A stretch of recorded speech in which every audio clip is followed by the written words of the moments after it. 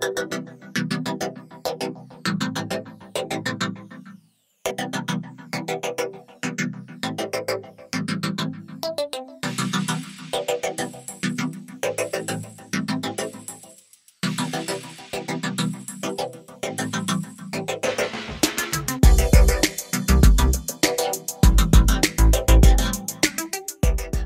COMPASS is an acronym. It stands for Creating Opportunities and Making Personal Advancements to Self-Sufficiency.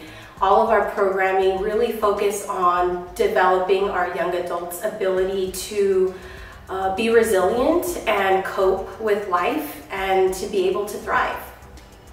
Before David and Margaret, when I first left my foster family, I was actually homeless for six months. Following that, I rented out my own room for a few months and then came to David Margaret. I've been here at David Margaret for about a year and six months now. The staff make sure I have everything I need. They also check up on me to make sure I'm actually doing or working towards my goals. They make sure that I never have any roadblocks, and if there are any, they sort it out for me. You know, constantly asking, do you have everything you need? If I don't have something, you know, they make sure to make an effort to come drop something off, if not that day, the next day. And even if it's kind of out of their scope of being able to help me, they give me resources that I can use to go do whatever I need. My life's a lot better now. Uh, I'm a lot more um, organized. I manage my time, manage my money, make sure that I'm saving. When I go to the grocery store, I'm no longer just buying what looks good. I'm, I'm you know, making a list before I go, planning out meals for two weeks at a time. You know, just all the little things that David and Margaret's helped me out with has like gone a long way in my personal life. I'd say the two biggest skills I've learned from David and Margaret is time management and money management. You know, making sure I'm at all my appointments on time, making sure if I can't be there on time, I let somebody know at least an hour ahead. I used to always be like a last minute kind of guy or a, I forgot this or I forgot that and that rarely happens now. Uh, it's given me the opportunity to explore different career paths that I might not have taken had I just stayed with my original foster family.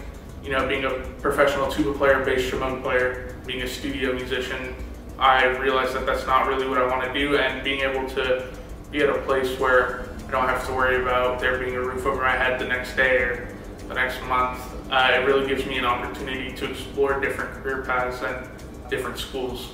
One of the things that we really try to do at David and Margaret is to always develop programming based on the feedback that we receive from our participants. And something that kept coming up is the need to have a space they can call their own.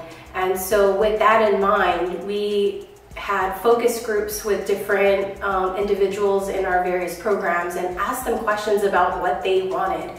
And so the, the drop-in center is really a reflection of all of that feedback that we obtain that really means a space for them to hang out socially with peers, a, peer, a place where they can feel safe, and a place where they can meet with their staff in, in a setting that doesn't feel like it's this facility or office that they're in.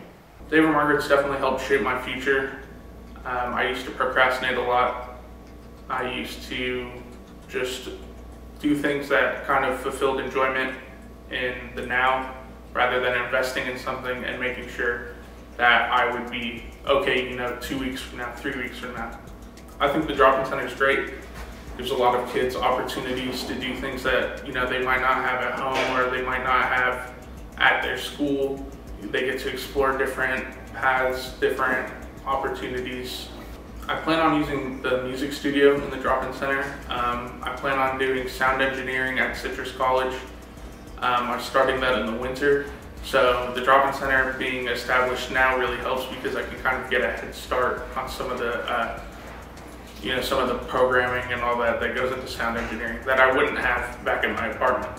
David and Margaret's helped me, you know, save money. They put away money for me they taught me to, you know, how to put money away for myself each month and how to just always make sure as an adult, you know, you get your stuff taken care of. You know, you never just wait till the last minute or keep putting it off, you know, watching Netflix all day or watching YouTube all day.